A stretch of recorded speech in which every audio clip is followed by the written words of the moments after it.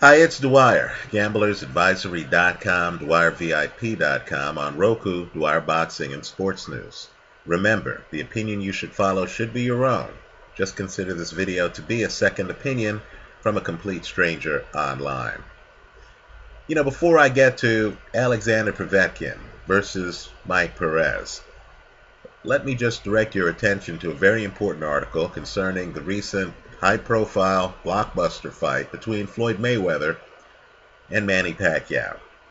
Now, let me just point out that boxing is a lot like politics. There's so much spin that you're not getting real information. In other words, a lot of these stories are really efforts to boost the fighter's reputation by someone associated with the fighter a trainer, a manager, a promoter, etc right? It's very hard to get real news, a fresh take. Now, Freddie Roach gave an interview recently that's getting a lot of traction online where he claims that 99% of the people he talked with thought Manny Pacquiao got robbed in his fight against Floyd Mayweather. Right now, let me just say it's because boxing is on pay per view. And because less than 5 million people saw the fight live as it happened in the arena or on pay per view, that folklore and stupidity like this is actually taken seriously. If all of us saw the fight, Freddie's comments would be a joke, and a bad one at that. Well, let me just say this. Let's refer to somebody not on the Pacquiao payroll his opinion on the fight. There's a very important article. You're going to have to dig for it. It's on boxingscene.com. The name of the article is Cortez, colon, no rematch, Mayweather Pacquiao wasn't close. Now, the person making the comments, believe it or not, is Hall of Fame referee Joe Cortez. Understand that Joe Cortez was the referee for some of Pacquiao's biggest fights right? His fight, the first fight against Juan Manuel Marquez, and Pacquiao's loss to Erik Morales. Right? So understand, Cortez has been in the ring with Manny Pacquiao. Understand too, Cortez was the referee for Floyd Mayweather versus Victor Ortiz. The fact that Cortez is a Hall of Famer speaks for itself. Here's Cortez's comments on the fight. He says, I was not surprised by the outcome, being that I was in the ring with Floyd Mayweather on four occasions as a referee and for three occasions for Pacquiao. I was able to, in my head, figure out that Pacquiao was going to have difficulties and any chance I gave him was if he got lucky and hit Mayweather with a good solid punch and hurt him, which that rarely happens. Cortez continued, and this was taken from an interview with On the Ropes Boxing Radio, a show you should follow. Cortez continues and says, I think the fans gotta forget about that, meaning the rematch. They got what they wanted to see. The two fighters fought each other. But if they were to have a rematch again, I don't think there's a reason for a rematch. It was not even close. They got to move on. Right? The point is simply from Joe Cortez's perspective. He knew Pacquiao was going to have a hard time. And from Joe Cortez's perspective, the fight wasn't close. It went the way he thought it would. Right? All I can say is as you watch the fight, just look at how successful Mayweather is repeatedly throughout the fight.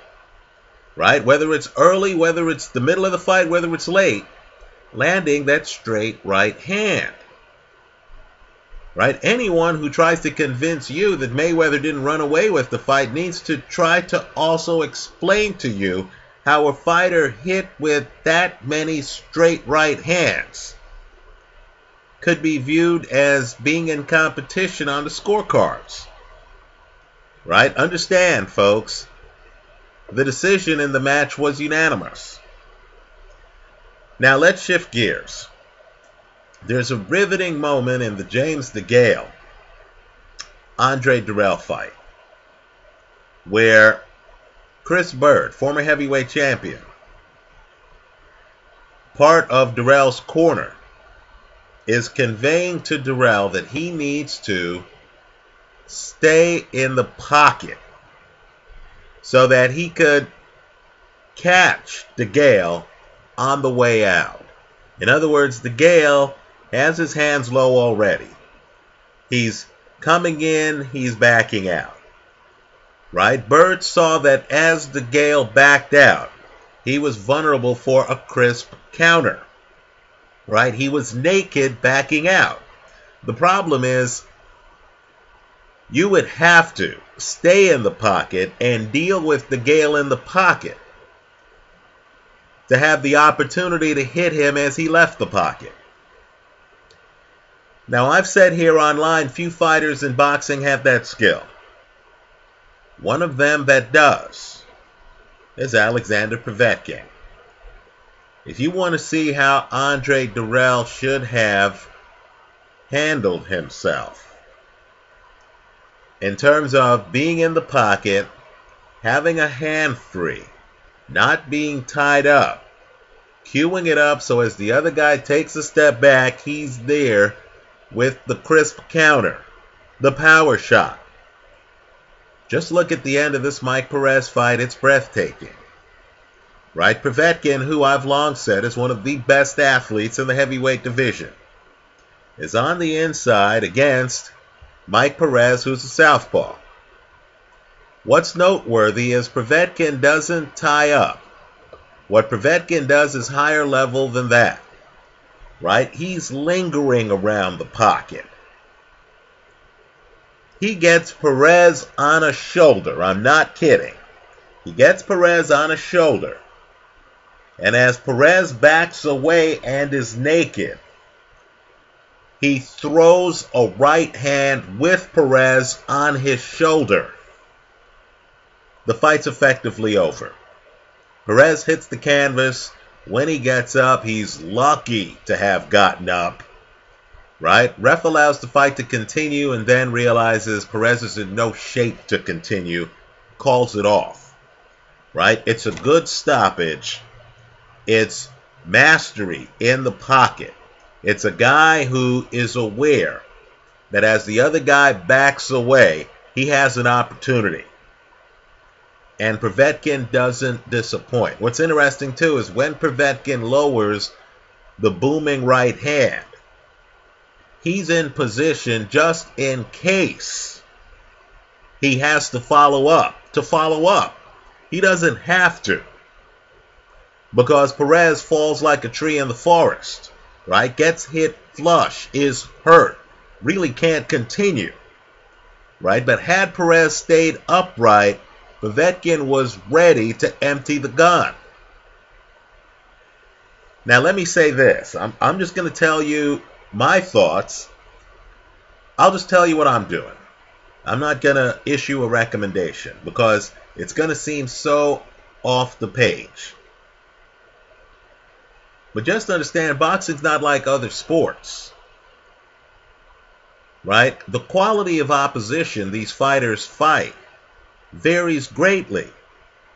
It's not like Major League Baseball where they're all playing Major League Baseball teams.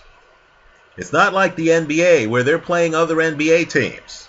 So you can look at the records and you can say, oh, the Warriors won 67 games. Oh, that's good. In boxing, some guys fight tomato cans, while other guys are fighting elite fighters. The guy fighting the elite fighters might have a worse record but might be the vastly superior fighter. You know, he might be the guy fighting the equivalent of the New England Patriots. You know, the Baltimore Ravens every week. Whereas the other guy is fighting the Jacksonville Jaguars. Right? These days, the New York Knicks. Right? I'll say this. We're in a moment in boxing right now where the two recognized heavyweight champions, Vladimir Klitschko, who does have a great resume, and Deontay Wilder, who does not, in my opinion, are at significant risk against their mandatory challengers. I think Tyson Fury beats Vladimir Klitschko. I think Alexander Povetkin utterly destroys Deontay Wilder. I know the public is going to look at Wilder's record. He's unbeaten. They're going to look at his KO percentage. He's only gone the distance once. Right? And they're going to convince themselves that he's competitive against a guy with far faster feet than Bermane Stiverne. Right? Power in both hands. Right? The ability to fight inside out. And a guy who has improved his game significantly since losing to Vladimir Klitschko. So I know there are many people who feel that, you know, these champions go on forever. That young guys who are unbeaten, like Deontay Wilder, uh, rule the world and are going to continue, and that we're in the first inning of what's going to be an extra inning ball game. Okay, great. Right? I'm from the other side of the street. Styles make fights. Right? Tyson Fury might be quirky and, you know, might not be the best interview, might look a little bit unstable. In my opinion, he has the style to give Klitschko all kinds of trouble. You need to pay close attention to where that fight lands. If it lands in the UK, right, if you're going to have a lot of Tyson Fury supporters in the arena, if you're going to have judges in an arena, right, with a savvy crowd that's going to be yelling for Tyson Fury, if you're not going to have the kind of engineering type scene that you have in matches in Germany where everyone's polite and everyone watches and it's a German mindset, right? Then Tyson Fury is an even liver underdog than I'm making him out to be. As for Alexander Povetkin, I don't care where he fights Deontay Wilder. He could fight Deontay Wilder in Deontay Wilder's living room. Absent a lucky punch from Deontay Wilder, who has power, right? The KO percentage speaks for itself right? He has knocked men unconscious. Absent a lucky punch that gets Wilder a KO, Wilder's going to get undressed. You know, I personally wouldn't be surprised if Wilder's people don't pay Povetkin step aside money or don't try to challenge, you know, Vladimir Klitschko to solve both of their problems. Right? Because, in my opinion, after their next fights, I'm not sure if either Vladimir Klitschko or, you know, Wilder is going to have a title. Right? And so, you know, if I'm Wilder, I would say, you know what? The public knows Vladimir Klitschko. Why don't I fight him? If I lose, people will say too much too soon. But I won't be viewed as having been dismantled, having been unable to defend my title right? Because if instead he fights Alexander Povetkin, I don't think he can match Povetkin in any area apart from a great long right hand. Right? To me, Povetkin has the better left. Povetkin has the better feet. Povetkin can fight low. Wilder's not a guy who can clinch you like a Vladimir Klitschko. And my point to you is that was the worst night of Povetkin's professional career.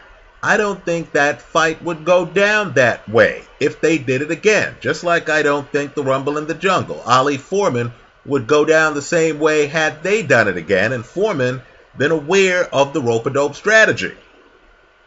Right? So let me just say, as you watch Perez against Povetkin, Just look at Povetkin's cat quickness. Just look at how he's able to just throw punches back up. Right? Get out of the pocket, come in the pocket when he wants. Then, look at how, when he's in the pocket and Perez is unprepared, he stays in the pocket. Perez is leaning on him. He doesn't clinch Perez. He knows that the way his head is, Southpaw Perez can't hit him. So he has a free shot as Perez backs away. He doesn't clinch Perez. He just comes, touches Perez with his shoulder. Just touches Perez with his shoulder, reaches back, ball game. Right? He's a future champion. I'll tell you, if that Wilder Povetkin fight is ever announced and Povetkin is now his mandatory, I'm going to have to race to a casino to put down money. And I'm guessing a lot of fans who have bought into this Wilder hype, who just saw him beat Stiverne, who saw him go the distance against a slow footed Stiverne, are going to feel that there are no questions about Wilder's stamina. Right? They're going to hear that Povetkin's lost before, and they're going to say, hey, well, Wilder fighting, you know, postal workers, uh, unbeaten record. Right? Must be the better fighter than Povetkin, who's fought Perez, Takam, uh, Klitschko, etc. Right? So, masterful performance by Alexander Povetkin. Um, expect a changing of the guard within the next few months in the heavyweight division. That's how I see it. Let me hear from you. Leave your comments for me here online. Visit us at gamblersadvisory.com. Thanks for stopping by.